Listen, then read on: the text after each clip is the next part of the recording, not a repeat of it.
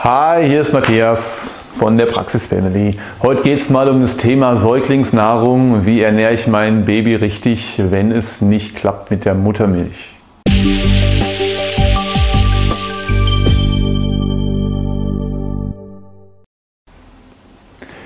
Ja, Leute, die beste Ernährung für ein Baby ist die Muttermilch. Punkt. Video Ende. Nein. Also es ist tatsächlich so, die beste Ernährung für ein Baby ist und bleibt die Muttermilch. Das ist so. Allerdings, und das ist eben das Problem, es gibt einmal den Fall, dass die Mama einfach nicht genug Milch selber herstellen kann, dass es nicht reicht und dann muss man unter Umständen zufüttern. Oder es kann sein, dass die Mutter ausfällt, dass sie aufgrund von Krankheit oder anderen Dingen einfach nicht stillen kann oder vielleicht habt ihr auch ein Baby, äh, das ein Adoptivbaby ist, wo ihr sowieso nicht stillen könnt. Ähm, oder, und es kommt ein großes, wichtiges Oder, oder eure Milch ist so giftig, dass man sie dem Kind nicht geben kann. Und das ist kein Scherz.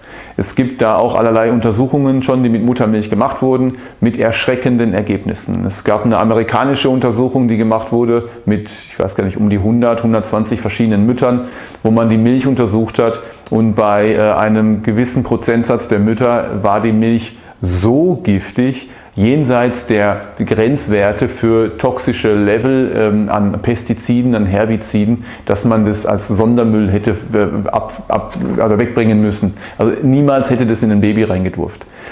Ähm, grundsätzlich gilt, ihr lieben Mamas, wenn ihr Amalgamfüllungen im Mund habt, also diese quecksilberhaltigen Zahnfüllungen, dann ist euer Körper mit Amalgam durch und durch durchsättigt mit dem Quecksilber.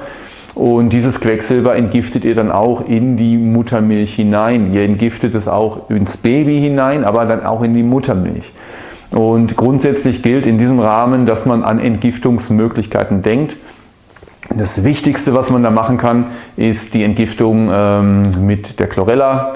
Also einfach Chlorella einnehmen, äh, auch während ihr stillt. Und der, der Trick ist, dass man so viel Chlorella nimmt, dass die Milch leicht grünlich wird. Dann habt ihr tatsächlich genug Chlorella im Körper und dann entgiftet ihr sogar auch schon das Baby über die Milch mit. Ähm, denn das hat mit, von euch mit Sicherheit dann im, im Bauch schon diese diese Toxine abbekommen, weil die sind leider plazentagängig. Wenn ihr mehr dazu wissen wollt, haben wir ähm, dazu mal ein spezielles Video gemacht. Ich verlinke das hier oben. Äh, da geht es ums Amalgam mit all den Möglichkeiten, das zu entgiften. Und da gibt es dann auch noch die Möglichkeit für einen Entgiftungskurs, glaube ich, äh, den zu machen. Aber sei es drum.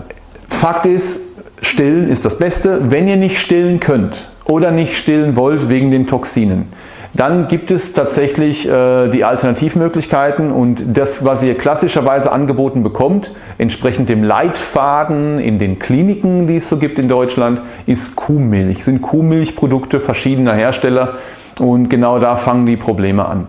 Es gibt hinreichend Nachweise, dass Kuhmilch nicht für Menschen geeignet ist und schon gar nicht für Babys. Es ist richtig, Babys sind Säuglinge und die brauchen Milch, das stimmt. Ähm, aber die Kuhmilch ist nun mal nicht optimal von der Zusammensetzung, äh, so wie die Muttermilch. Die Muttermilch ist halt für ein menschliches Wesen in der perfekten Zusammensetzung und Zusammenstellung. Und das ist die, die Kuhmilch leider nicht. Der Hauptunterschied besteht in dem Milchprotein. Das Protein der Muttermilch ist Beta-Lactoglobulin. Das Protein der Kuhmilch ist vorrangig Alpha-S1-Lactoglobulin. Und genau das ist das Schwierige, denn der Körper des Menschen, der Körper eines Babys, aber auch eines, eines Erwachsenen, äh, scannt permanent nach Freund und Feind im Bindegewebe und im Blut. Die Milch, das Milchprotein hat die besondere Eigenschaft, dass es die Darmwand des Körpers durch, durchfließen kann, ohne dass die Proteine in Aminosäuren zersetzt werden müssen. Das ist so eine Art Sonderpassierschein der Milch. Und wenn die Milchproteine die Darmwand passieren und so ins Lymphsystem hineingelangen, dann ähm, muss das Immunsystem das zunächst mal scannen, weil das halt ein komplettes Protein ist. Es könnte ja auch eine Bakterie sein oder irgendwas in der Richtung. Und wenn es dann nicht körpereigen ist, wird es als feindlich erkannt und erstmal angegriffen.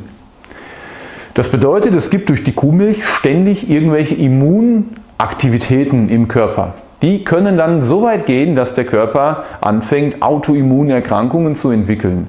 Hauterkrankungen, Psoriasis, Neurodermitis, Asthma steht in großer Verbindung damit.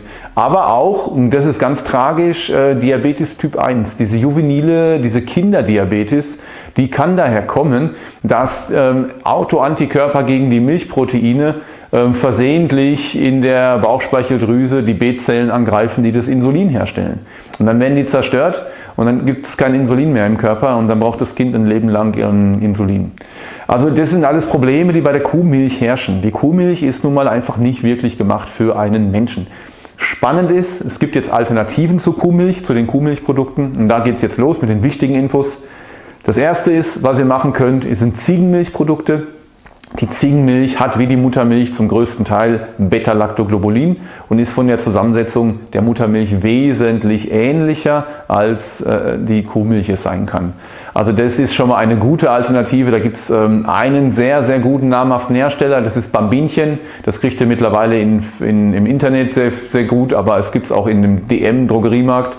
Ähm, also da kriegt ihr, da kriegt ihr das, das Zeug her, das gibt es einmal für Babys von 0 bis bis äh, sechs Monate und dann ab sechs Monate aufwärts, ist geprüft, ist erforscht, also ist einfach funktioniert phänomenal gut.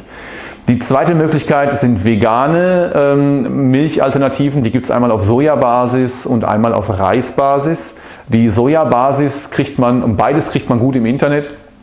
Sojabasis kriegt man, glaube ich, auch bei ausgesuchten Reformhäusern und, und äh, vielleicht auch in Apotheken. Ähm, die Reismilchbasis habe ich jetzt nur gefunden äh, in Frankreich. Ja, en France. In Frankreich, da sind die äh, mehr auf der Reismilch und da kann man zwar bestellen, auch online im Internet, ist kein Problem. Also das ist ganz entscheidend, Leute, lasst eure Babys in Ruhe mit der Kuhmilch. Die Kuhmilch ist tatsächlich nicht gut, ist nicht geeignet. Ihr gewöhnt den Körper da an was Falsches und ähm, ihr solltet von vornherein den Körper gar nicht erst an die Kuhmilch gewöhnen. Dann kann sich euer Baby optimal gesundheitlich entwickeln, gedeihen, wachsen und quietschfidel werden. In dem Sinne, das war's von mir. Wenn es euch gefallen hat, gebt uns einen Daumen nach oben, abonniert den Kanal und kommt, besucht uns auf Instagram, besucht uns auf äh, Facebook. Und ähm, ja, ihr könnt, wenn, ich, wenn ihr wollt, euch eintragen zum Newsletter über unsere Website. Und äh, in dem Sinne, liebe Grüße, ciao.